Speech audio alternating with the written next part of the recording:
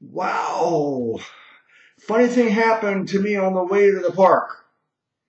That's supposed to be the beginning of a joke. Well, uh, I was watching the discussion with uh, Brother Matthias and Chris Date, and I tried posting a link to a video, and for some reason it won't let me post the link.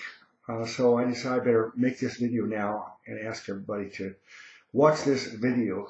I'm going to put the link in the description box of this video here.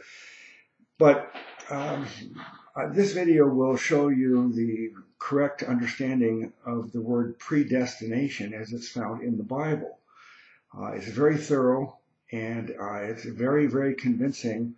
And the way that Calvinism teaches predestination is um, is incorrect and I'll even say evil.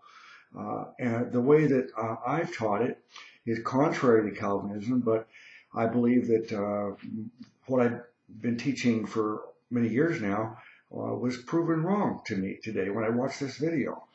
So I promote the saying that uh, who but a stubborn fool will hold on to their error once it's been proven wrong. Um, so uh, I, I, can see now that there, um, the correct way of understanding predestination is different than the way I had understood it. I want you to understand this too.